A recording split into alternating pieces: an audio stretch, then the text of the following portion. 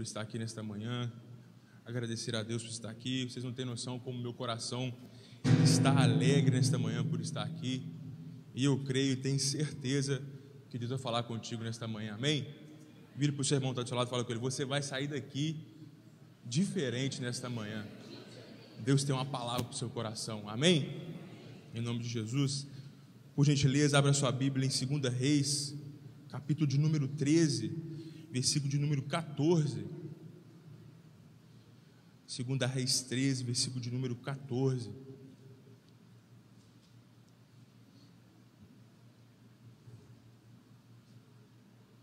Amém? 2 Reis, capítulo de número 13, versículo de número 14. Diz assim, ó. E Eliseu ficou doente da enfermidade que o levou à morte.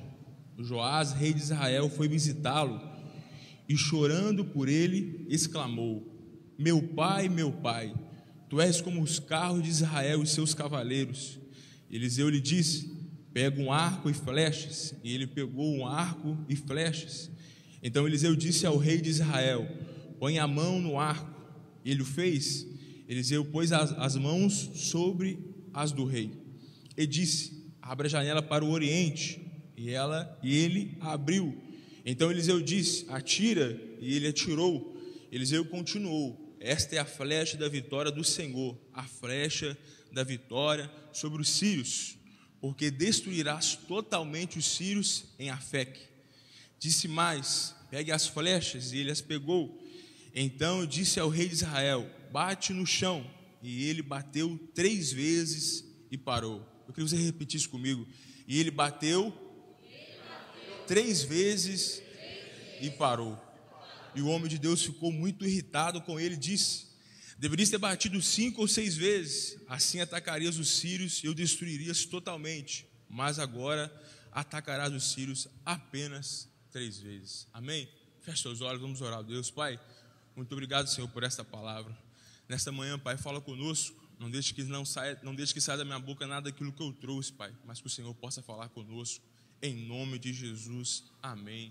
E amém. Pode se assentar nesta, noite, nesta manhã. Amém. Se eu errar a noite por manhã, irmão, você me perdoa aí. Amém. Costumado a falar à noite, a gente vai confundindo. Mas você vai nos perdoando aí.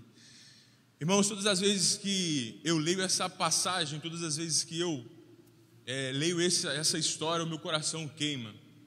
E nesses dias, orando a Deus por esse tempo, orando a Deus por esta manhã, o Senhor me fez lembrar sobre essa história. Eu li um livro há um tempo atrás que chama Até a Última Flecha, e essa história estava dentro desse livro. E quando a gente para para ver essa história, quando a gente para para estudar sobre essa história, quando você para para ler essa história, Deus começou a falar no meu coração. E eu queria nesta manhã compartilhar com você aquilo que Deus colocou no meu coração, com expectativa muito grande, porque aquilo que Ele colocou no meu coração também possa te atingir nesta manhã. Amém? E nessa história vai contar a história de Eliseu. E nesse, nesse momento da história, Eliseu manda chamar Joás, o rei daquela época.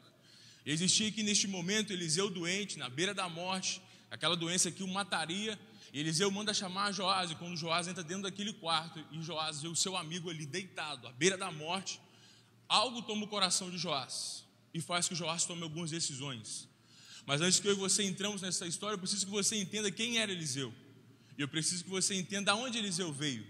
Eu preciso que você entenda também quem direcionou Eliseu a ser o homem que ele se tornou. E quando nós vamos para 1 Reis, capítulo de número 19, a palavra de Deus vai dizer.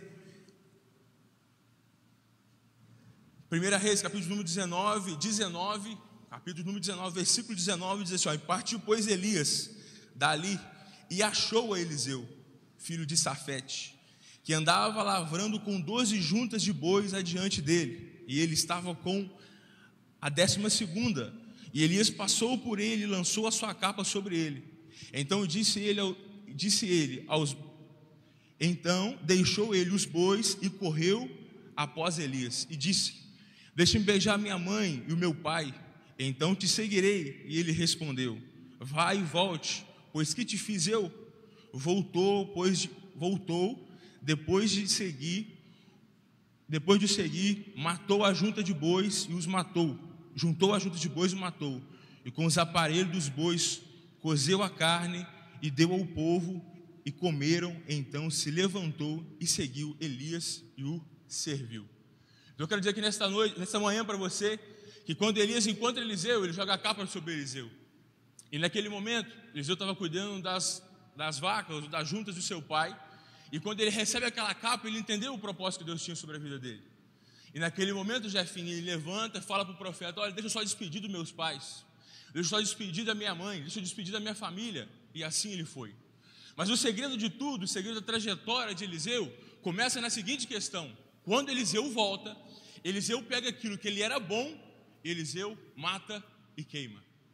Eliseu faz daquilo ali uma grande festa para que aquelas pessoas do bairro, da cidade, da rua entendessem que naquele momento um novo ciclo estava começando na vida dele e que poderia que aquele ciclo não desse certo, mas ele nunca mais voltaria para o mesmo lugar da onde ele saiu.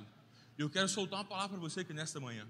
Quando Deus te chamar, quando Deus me chamar, pelo amor de Deus, não deixe que as coisas do passado te prendam, para que um dia você possa voltar e ainda ter forças para continuar no lugar onde você saiu.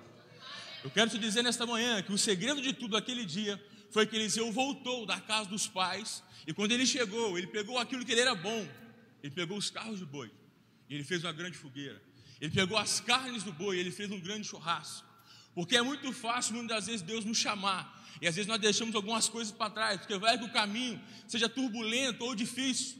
Nós sempre colocamos no nosso coração que nós podemos voltar para aquele lugar, mas aquele menino não. Aquele menino naquela manhã queimou tudo e foi em direção ao profeta. Eu queria dizer para você nesta manhã, o dia que Deus te chamar, ou nesta manhã, pode ser amanhã que Deus te chamou, pelo amor de Deus, queima tudo, não deixa nada para trás, porque Ele tem para você é muito maior daquilo que você pode pensar ou imaginar. E a história de Eliseu começa a acontecer, a história de Eliseu começa a andar. Mas eu quero que você entenda que o homem que estava direcionando Eliseu não era qualquer um, meu amigo, era simplesmente Elias. E a segunda parte que eu queria dizer para você que nessa noite é que tome muito cuidado e escolha com muita atenção quem vai direcionar os seus passos. Nunca escolha alguém, ou nunca olhe para alguém dizendo que você tem que fazer aquilo ou aquilo outro, sendo que nunca construiu nada sendo que nunca buscou nada, sendo que nunca direcionou nada. Mas nesta manhã eu quero dizer para você que Deus vai colocar no seu caminho homens e mulheres, profetas e profetisas que vão te levar a um lugar mais alto na presença dele. Então, neste momento, Elias começa a direcionar o profeta Eliseu, uma pequena caminhada, uma grande caminhada. Eu queria que você entendesse quem era Elias. Elias, naqueles dias, a Bíblia cita 13 grandes milagres que Elias fez. E o primeiro milagre, em 2 Reis capítulo 2, versículo, versículo 8, com a sua capa abriu o rio Jordão. O segundo, profetizou uma grande seca. 1 Reis, capítulo 17, versículo 1. Na terceira, aumentou o azeite da farinha da viúva. 1 Reis 17, 14. 4. Deu vida ao filho da viúva. 1 Reis 17, 21 ao 23. Quinto, destruiu o altar de Baal. 1 Reis 18, 36. Sexto, decretou o fim da seca, decretou o fim da seca. Sétimo, ungiu Eliseu, o profeta, em seu lugar. Oitavo, desmarrou os cios diante de Israel. Nono, livrou a semente do rei Acabe. Décimo, profetizou a semente de Jezabel. Décimo primeiro, a morte de Acasias. Décimo segundo, os homens são consumidos pelo fogo. Décimo terceiro, profetizou a ruína da morte de Joroão rei de Judá. Então, aquele homem que estava direcionando Eliseu não era qualquer homem, era um homem que já tinha vivido e tinha acontecido um milagre através da vida dele. Então, quando Eliseu começa a andar com aquele homem, Eliseu começa a sentir, começa a ver e começa a desfrutar daquilo que aquele homem vivia, daquilo que aquele homem experimentava, daquilo que aquele homem sentia em Deus, daquilo que aquele homem sempre estava com intimidade com Deus e vivia. Mas a, a, a porta principal, o posicionamento principal de Eliseu foi que quando ele sai de casa, ele deixa tudo para trás, ele foca somente naquilo que Deus tinha preparado para a vida dele. E a Bíblia vai dizer também que certo dia o profeta Elias chega para Eliseu e pergunta: O que queres de bem, Eliseu? E aquele jovem, com muita sabedoria e com muita ousadia, vira para Eliseu em 2 Reis, capítulo 9, diz assim: Olha, sucedeu que havendo ele passado, Elias disse a Eliseu: Passa-me o que queres peça-me o que queres, e eu te faço, antes que seja tomado de ti. E disse Eliseu: Peço que haja porção dobrada de teu espírito sobre mim. Aquele jovem, irmãos, ou aquele homem, ou aquela para esta manhã, ou essa mulher, ou esse homem, essa mulher que nós estamos aqui hoje, nesta manhã. Quando ele olha para o profeta Elias, o profeta Elias fazendo milagres, sendo um homem direcionado por Deus, ele olha e fala: Olha, eu quero porção dobrada sobre aquilo que você tem. Eu quero porção dobrada sobre aquilo que Deus faz na sua vida. Eu quero porção dobrada sobre aquilo que você faz, aquilo que você experimenta, aquilo que você tem em Deus. E como é difícil, muitas vezes, alguém olhar para nós e querer ter porção dobrada daquilo que nós temos. Mas aquele menino olhou para o profeta Elias e falou: Eu quero porção dobrada sobre a sua vida. E ali começa a história de Eliseu. E a Bíblia vai dizer que ele fez 26 milagres, o dobro de Elias. Então eu quero que você entenda aqui nessa noite que aquele menino com aquele profeta eram homens completamente intensos. E é muito difícil, irmãos, você andar com pessoa intensa. Ou você torna intenso, ou você tem que largar dela. Não tem como. Quando você anda com uma pessoa intensa em Deus, ou você se moda a intensidade que ela tem, ou você não vai andar com aquela pessoa. Porque tem intensidade, irmão, tem a ver com entrega. E todas as vezes que Deus te chama para algo, a sua entrega vai direcionar o milagre que Deus tem para você. Toda vez que Deus direciona você a um lugar, ou toda vez que Deus chama você para um lugar, a sua entrega vai revelar o quão alto, o quão longe você quer ir. É por isso que muitas vezes nós queremos estar em lugares grandes, mas a nossa entrega é pequena. É por isso que muitas vezes nós queremos, invejamos, invejamos o pastor, invejamos a pastora, invejamos o nosso líder, mas a nossa entrega não é tão grande como aqueles homens e mulheres ao nosso meio se entregam. Mas nessa manhã eu queria te direcionar e eu queria trazer no seu coração, quanto mais você entregar, mais o Senhor tem para te dar nesta manhã. E a Bíblia fala que o profeta Eliseu começa a sua caminhada dali. E certo dia cai nesta passagem que nós vemos, cai nessa história que nós vemos. O profeta Eliseu está na beira da morte, a morte que vinha a matar. Ele manda chamar Joás. Quando ele chama Joás, Joás entra dentro daquele quarto e vê o amigo dele deitado naquela cama, à beira da morte. Eu imagino comigo lendo essa palavra que o coração de Joás é tomado por uma tristeza muito grande. E naquele momento ali, Joás não entra ali como o rei, Joás entra ali como um amigo. Mas nós aprendemos aqui ontem que altar não é lugar de amizade, é lugar de propósito. Então, naquele dia, naquela manhã, poderia ser amanhã como essa, quando Joás entra naquele quarto, Eliseu está deitado ali, na beira da morte. O coração de Joás é tomado por um sentimento que naquele momento não poderia existir. Eu quero dizer para você que nesta noite, que não é que não poderia existir, mas naquele momento ali, Joás não entendeu o ciclo que ele estava vivendo. Porque naquele momento, um ciclo estava se fechando, que era o de Eliseu, mas um ciclo estava sendo aberto na vida de Joás. E eu quero liberar para você mais uma palavra nesta manhã, que esteja preparado para fechar ciclos, mesmo que seja com pessoas muito importantes que estejam do seu lado. Naquele momento que, que Joás entrou naquele quarto, ele viu o profeta deitado naquela cama. Imagina comigo as lembranças que passaram no coração daquele homem. Quantas guerras, quantas vitórias eles tiveram juntos, quantas situações eles tiveram juntos naqueles, naqueles dias. E aquele amigo que ele tinha estava morrendo. Mas existe uma coisa aqui muito interessante que Deus trouxe ao meu coração, que quando ele entra no quarto, ele fala: Meu pai, meu pai, você é cavalo e cavaleiro de Israel. É como se naquele momento Joás estava entregando ou direcionando todas as vitórias que Israel teve na mão de Eliseu. Mas nunca foi, irmão, sobre Eliseu. Nunca foi sobre Elias. Nunca foi sobre nenhum homem da Bíblia, mas sempre foi sobre o que Deus fez através deles. Não é sobre o pastor Eleco, não é sobre o pastor Daniel, mas é só sobre aquilo que Deus faz através da vida deles. É por isso que nessa noite precisamos entender que quando ciclos novos começam na nossa vida, nunca vai ser o nosso nome que vai na frente, mas sempre vai ser o amor e a misericórdia que Deus nos tem no nosso coração. Eu quero que você entenda isso nesta manhã. Então, quando Joás entra naquele lugar e ele vê o seu amigo ali deitado, um sentimento de dor toma o coração daquele profeta, daquele rei. Um coração de dor toma o coração daquele homem. E naquele momento, não, era, não poderia ter aquele sentimento, mas ele era humano, igual nós. Mas naquele momento, Eliseu chamou ele ali para que ele pudesse, naquele momento, transferir uma unção geracional sobre a vida dele.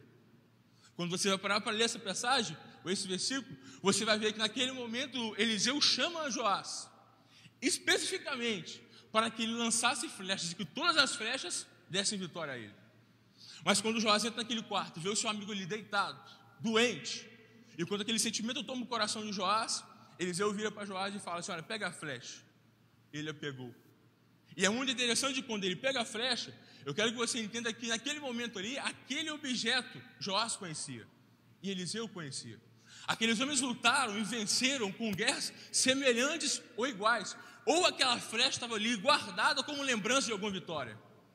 Então, aquele objeto que estava ali naquele dia não era um objeto que eles não conheciam, era algo que eles estavam acostumados a ter em mãos, era algo que eles estavam acostumados a viver. Mas o sentimento de Joás era tão diferente daquelas vitórias e guerras que eles conquistaram, que Joás não entendeu qual era o mistério e a vitória ali aquele dia. Joás se deixou levar pelo sentimento que ele estava vivendo. E todas as vezes que eu e você somos deixados levar pelo sentimento e não pelo propósito, nós não começamos a entender o que Deus quer fazer conosco, mesmo em tempos difíceis. Todas as vezes que eu e você não entendemos qual é o ciclo que Deus está nos levando, nós começamos a acreditar que dias difíceis, momentos difíceis, não estão sendo preparados por Deus para nos abençoar. Mas quase sempre são dias difíceis, momentos difíceis, que Deus coloca nas nossas mãos as armas para nós vencermos as nossas guerras. E naquele dia, o profeta fala: pega, sua, pega essa flecha, abre a janela em direção, abre a janela em direção ao sul, se eu não me engano, ao norte, e lança a flecha. E, e a, a coisa que mais me chama atenção aqui, irmãos, nessa história, é que quando eles puxam a flecha junto, a mão do profeta entra sobre a mão de Joás. Então, naquele momento ali, não era a mão de Joás, e nem a mão de Eliseu, mas era uma unção sendo decretada sobre aquela geração, sobre aquele tempo. Era uma geração, era, era uma unção geracional sobre aquele tempo, a qual Eliseu estava falando: olha, a partir de hoje, neste momento, tudo que for feito nesse quarto, a vitória será decretada. Tudo que acontecer a partir de agora, nós estaremos dando, Deus estará dando vitória a tudo aquilo que for lançado daqui. Então o profeta põe a mão sobre a mão do, do rei e ele lança a primeira flecha. E quando ele lança a primeira flecha, eu quero que você entenda isso nesta manhã. Imaginam algo acontecendo ali, extraordinário, no mundo espiritual, a qual o coração de Joás não estava entendendo o que estava acontecendo. E por causa disso, o sobrenatural se tornou algo normal. Ele estava tão acostumado com a flecha, ele estava tão acostumado com o arco, que aquele algo simples, que às vezes Eliseu fez, se tornou algo normal para ele, automático. Mas naquele dia, estava sendo passado ali uma unção geracional sobre ele. Aí eu preciso que você entenda isso nesta manhã que quase sempre, ou todas as vezes, o Senhor vai usar coisas simples para mudar a minha e a sua história. Quase sempre, irmãos. O Senhor vai usar pessoas ou situações simples para que Ele possa mudar a minha e a sua história.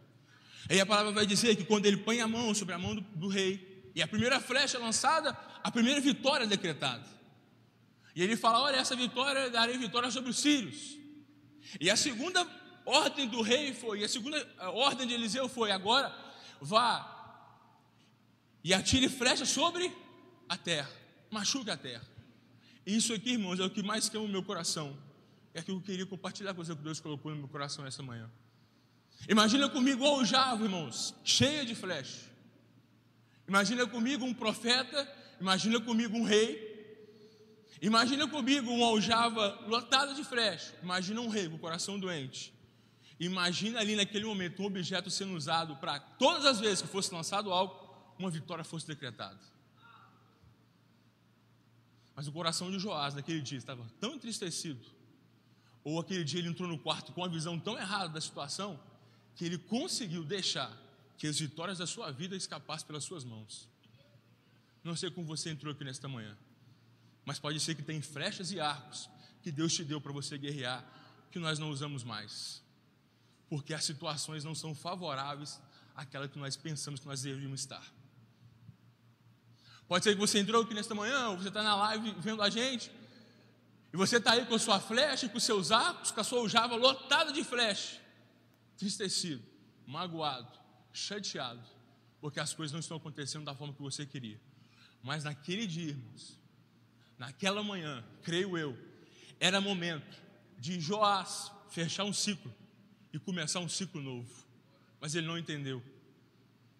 Porque fechar ciclos, irmãos, com pessoas que nós amamos é muito difícil.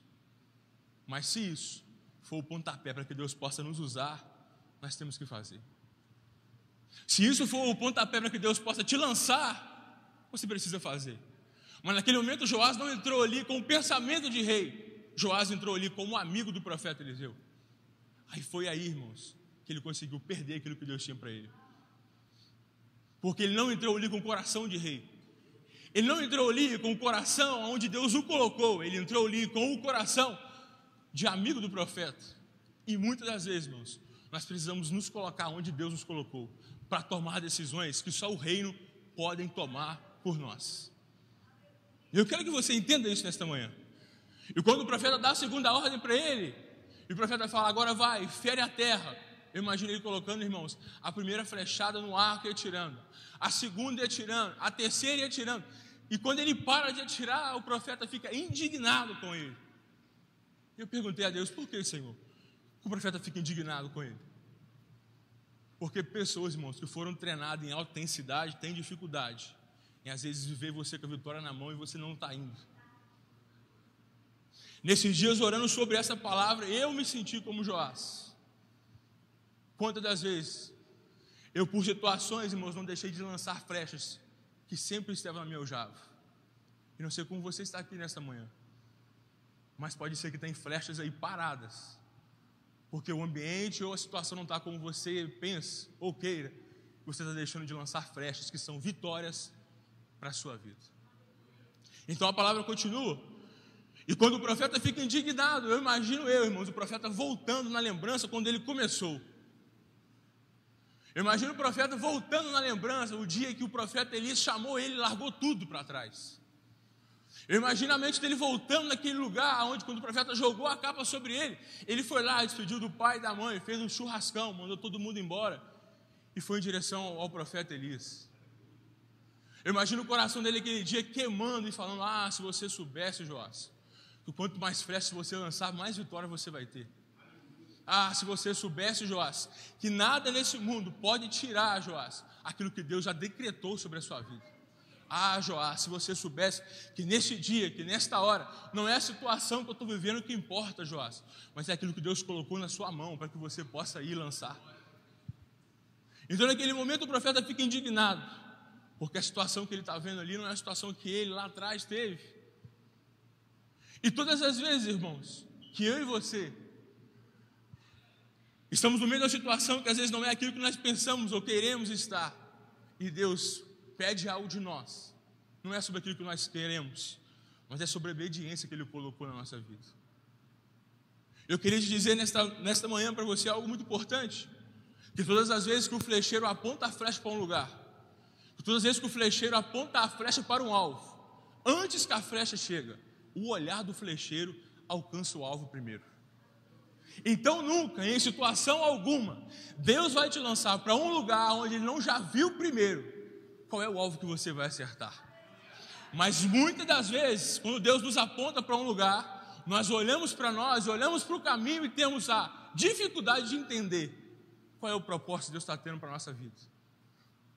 Mas eu quero te dizer nesta manhã que todas as vezes que Deus nos aponta para algum lugar, todas as vezes que o flecheiro aponta a flecha para um lugar, o olhar do flecheiro chegou primeiro no alvo.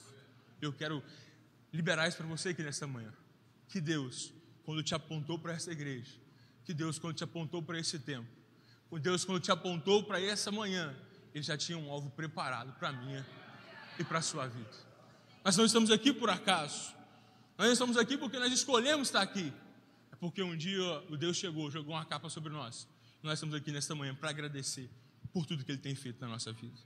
Então, naquele dia, Joás, o coração entristecido e magoado, não entendeu qual era o significado de estar naquele quarto.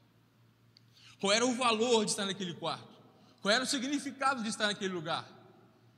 Mas Eliseu, com o olhar do profeta, falou: Ah, se você soubesse o que está acontecendo aqui nesta manhã.